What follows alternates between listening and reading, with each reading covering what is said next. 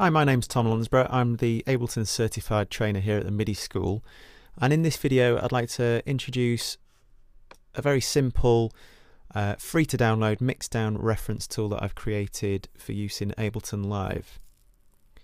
So before we start talking about the inner workings of what is this, uh, essentially this audio effects rack, uh, let's just talk a little bit about what referencing actually is if you are unfamiliar with the term. Um, basically, referencing would be comparing the work that you're doing in terms of you know music creation and mixdown with professionally mixed, commercially available records, just to see how yours measure, measures up in terms of things like frequency content, um, the amount of compression that's been used, and the amount of reverb that's been used, you know, among other things. Uh, and that way, you know, if you use something which is done well commercially as a benchmark, and you you know you try and get your track to sound as close to that as you possibly can do, um, in terms of its sonic quality, then your track is going to stand a better chance of, uh, of of doing well. Okay, so uh, let's just drag and drop this onto the master track. In fact, you see I've already got one here. Let's just get rid of that so there are a range of commercially available um, reference tools, uh, but obviously the majority of those are going to cost you money. Um, no doubt there's probably a Max for Live device out there as well that will do a similar job. Um, but again, Max for Live only comes with the more expensive suite version of Ableton Live, or you have to purchase the software Max for Live separately from Ableton's website. Um, so this audio effects rack will work in any version of Ableton Live where you've got access to the Looper audio effect device. Right, so let's just have a quick listen to this track that I've been working on um, pre-master and decide on uh, what genre of music, what, what style it is, and then look for some tracks of a similar ilk to compare and contrast with this.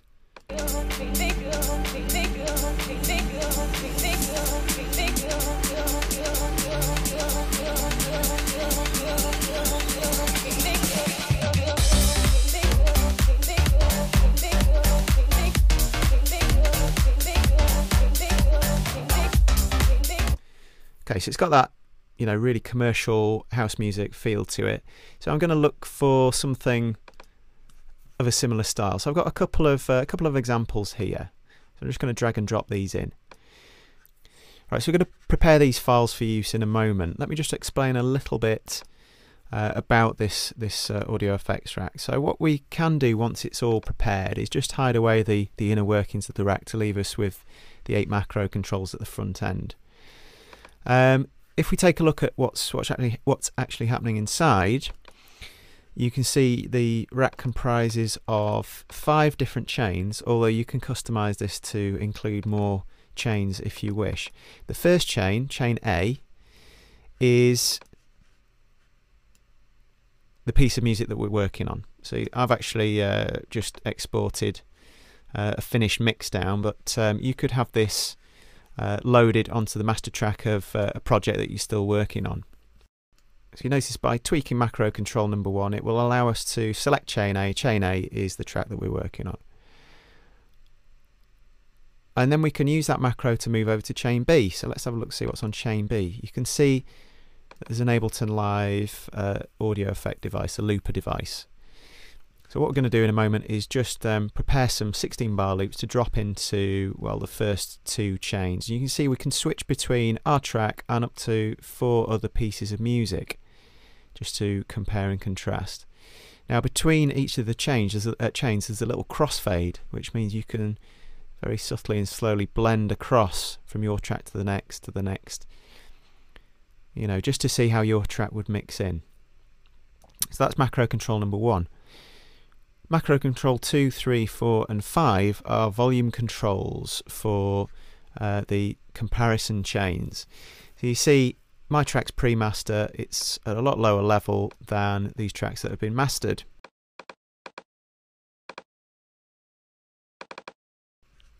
So basically, you once we drop these samples in, we can use these controls to attenuate the volume of the chain.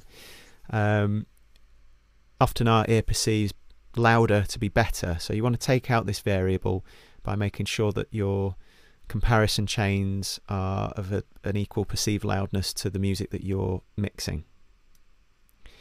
And the final three macro controls that you can see there actually assigned to um, an EQ3 that's on the first chain, i.e. our piece of music. And say, you know, there is frequency differences between our track and the reference tracks, we can perform, you know, broad brushstroke EQ tweaks, so bass, mids and highs just to see what we're going to have to do to our mix overall. And then obviously what we'd do is we'd go back and address those individual elements. So if I'm having to boost the gain of the lows on my track to get it to blend with the references you know in the right sort of way I'm going to need to go back and address say my kick drum my bass instrument maybe just give those a little boost in the in the bass part of the spectrum Right, so let's move on to preparing these files. Um, now you could technically just get hold of these files and plonk them straight into the looper. However, it works best if we just cut out smaller 16 bar phrase to, to make use of. So I'm just going to solo, let's just warp. So I'm taking into account the fact that you would know how to warp a full piece of music here. Uh, if you're having trouble with that, then please don't hesitate to drop me a line and I can give you some pointers.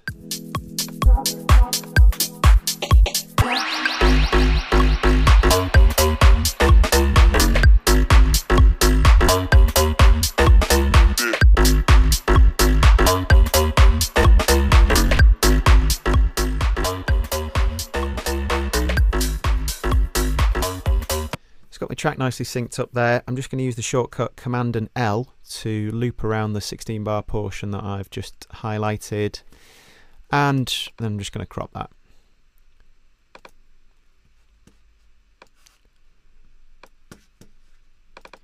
Right, let's just drop that into the right chain. Make sure, yeah, B1. Let's just drop that into the, the looper device. Just takes a moment to process that.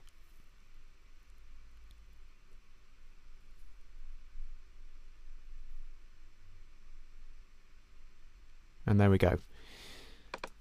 So obviously you can see that dropping a full track into it would uh, take rather a long time for it to analyse. That's why I've uh, confined it to 16 bars. All right, let's just get the next one and load it into chain B2.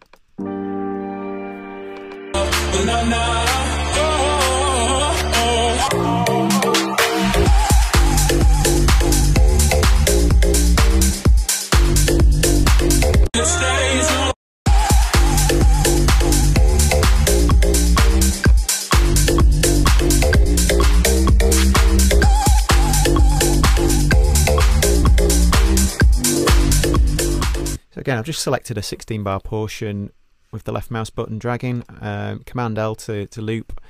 We'll just crop that and let's just plonk that in here.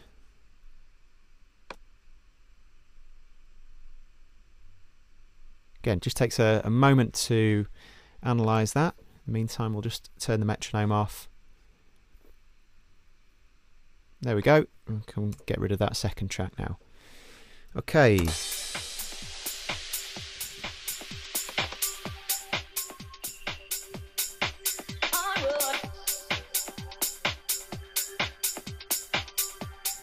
So you can see how the looper, when I started playing, is following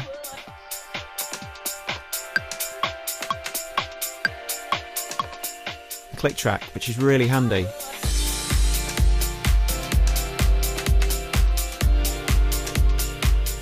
So let's start the next one playing.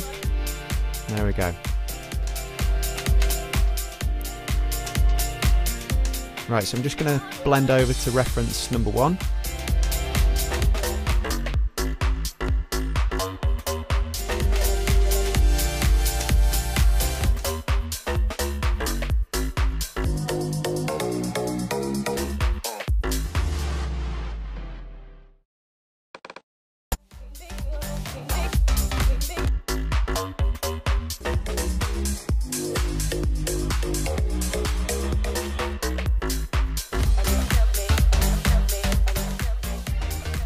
And if you get your warping spot on, uh, what you'll find is that the sync between the original piece of music that you're trying to mix and the references is spot on, which makes it a lot easier to to reference.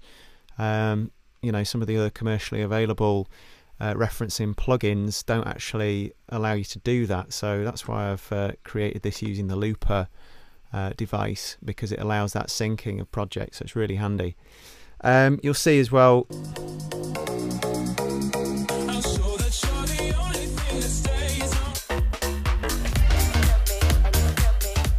Okay, so I've already attenuated the volumes, so we're looking at about minus 11. Let's just um, go minus 10, minus 10.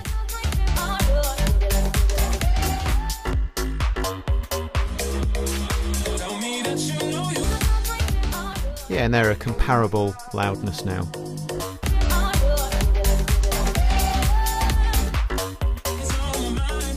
So what I've gleaned from that is that perhaps my kick drum is just a little bit boomy at the moment. It's not quite as tight as these other two examples.